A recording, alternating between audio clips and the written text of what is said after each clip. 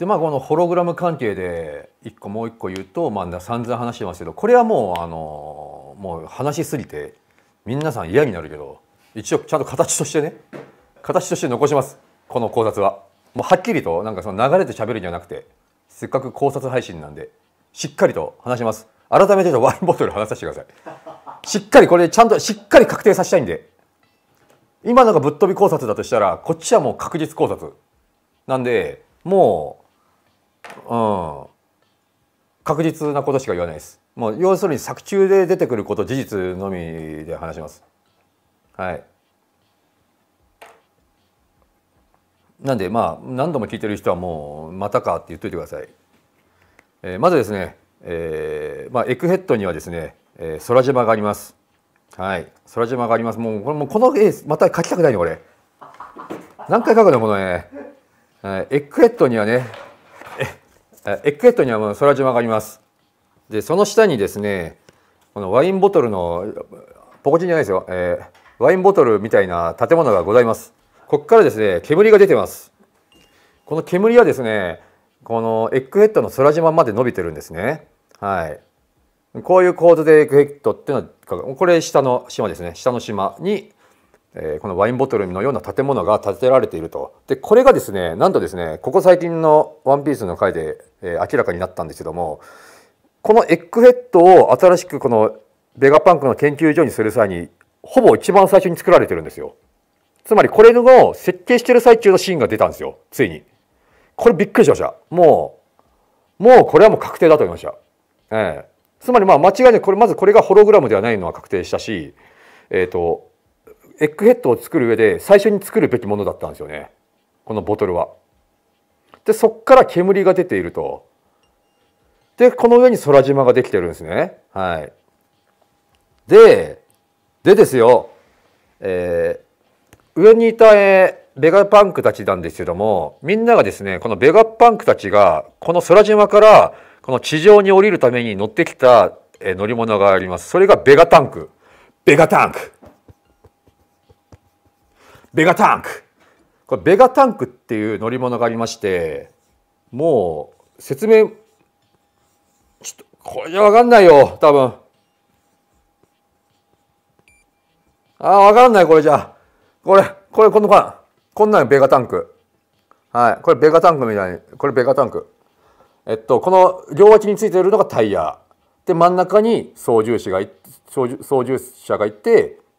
えー、こういう乗り物ですね。で、このベガタンクの特徴なんですけども、このタイヤがですよ、このタイヤがですね、この島雲と島雲がくっつく性質を利用して走っていると。つまりですね、この島雲あるじゃないですか。でこのタイヤも島雲でできているとこの島雲と島雲がくっつくんでこの急なもう坂みたいなところを、えー、下っていけると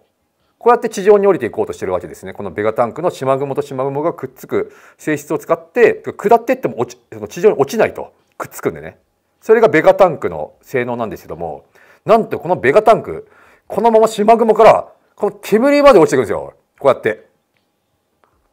これ煙のねとこもこうやって下っていくんですよ。このベガタンクがですね、えー、もう何度も言いますけどこのこのベガタンクっていうのは島雲と島雲がくっつく性質を利用してこうタイヤを走らせていますんでつまりですねこの煙も島雲なんですね。でこの島雲が出ているこのワインボトルからこの島雲が出ていると。はい。これはだから煙じゃなくて島雲なんですよね。じゃあなんでこのワインボトルみたいな建物から島雲が出てんのっていう話でございます。はい。でこの島雲を作る装置と全く同じ役割をしているものがございますね。はい、そもそもこのルフィたちが言ったスカイピアなどの空島ですけどもこの空島っていうのはどうやってできるかっていう説明を空島で編でしてるわけですね。えーまあ、要約するとですね、まあ、空島に含まれているこう島雲島雲にはですねパイロブロインという成分が含まれていましてそれは、えー、とある場所の火山から、えー、吹き出していましてその火山から空中の空の中の水分とくっついて島雲ができてますよと言われています。でそのパイロブロインには海楼石にも含まれています。ということを説明しますね。はい。で海楼石っていうのは和の国の海域にのみ作られているってことがもう明言されてます。つまりこのパイロブロインを、えー、海楼石を作るためのパイロブロインもまた和の国で製造和の国で発生しているんですね、はい、つまり和の国の火山から島雲が作られています、はい、この辺はもうあの、うん、過去に考察出してますんであの分からなかったらちょっと見てみてください。まあ、なんで、えー、簡単もうもう一度言うと和の国の火山から島雲は作られている。これはもうこの妄想とかじゃなくてもうこの作中の事実としてつなぎ合わせていくともう導き出される答えでございます。そして和の国の火山って何だっつったら、まあ、富山なんですけども、まあ、富山が細いんですねこう細い細い富山なんですけどもはい。まあこのおそらくこの富山から、えー、煙火山から煙が出てここから島雲になっているんですけども現在煙は出ていません。つまりこの、えー、富士山っていうのは稼働してないんですね今ね。はい。でこの地下に眠る、和の国の地下にパイロブロインっていう性質を含んだ何かが眠っているんですけどもじゃあこの和の国の地下には何が眠っているかって言いますとプルトン。古代兵器プルトンが眠っていると。すなわちですね古代兵器プルトンがこのパイロブロインを発生させているって考えるのが一番筋通ってる現状ね。はい。でそれのパイロブロインを発生させている古代兵器ですよ。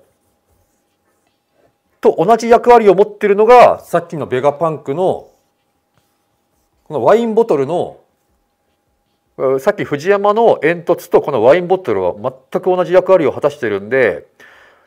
この古代兵器に近い何かがエッグヘッドの地下には眠っているって考えるのがまあ筋通ってそうだなみたいなとこですね。そしてこの地下に古代兵器があるのかないのかって話なんですけども古代兵器が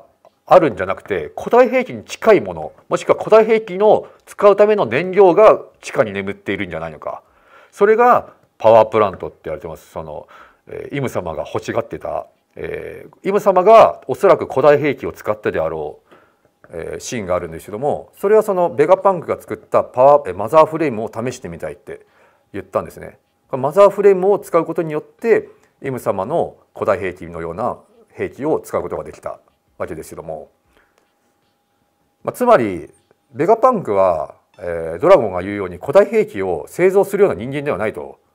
じゃあマザーフレームって何なんだっつったらこれ燃料じゃねえのと。なんで燃料かっつったら、えー、融合炉と呼ばれているパワープラントってものがこのエッグヘッドには存在しているっていうのがもう明言されてます。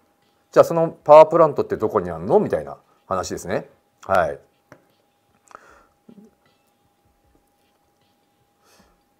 でまあ、そうですね、まあ、燃料燃料って言ってじゃあベガパンクは何がしたかったかって言いますか。まあ、えー、このお話何なのかって言いますとまあ要は使い方次第だよねっていうことだと思うんですよ。兵器っていうか科学って。うん、でまあ小田先生自体この「ワンピースの作中に明言することないと思うんですけどもまあやっぱり、まあ、この古代兵器もう皆さんもうすうす気づいてるかもしれないですけどもやっぱりちょっとまあ、えー、まあ核兵器を多分、まあ、モデルといいますかそのニュアンスを含ませてはいるとは思うんですね。まあ、うんまあ、実際に核兵器に使われたプルトニウムとウランっていうのがあるわけですから、まあ、そこからプルトンとウラヌス引っ張ってきてるような気もするんででも実際そのウランプルトニウムも、まあ、原子力発電として、まあ、燃料として、まあ、使えば、まあ、エネルギーになるわけですから、まあ、兵器として使わずにね。だからまあベガパンクは別に兵器として使うわけではなくこの融合炉ってものを作ったんじゃないかなっていう。ものだと思いわけ思いますね。はい、それを悪用したのが、まあ、イム様だったりとか過去に空白の100年の時に多分古代兵器使われてるんでそこでその、えー、ウランプルトニウムに代わる、まあ、ワンピースの燃料みたいなものが実際兵器として使われてしまったっていうのが空白の100年の話だと思います。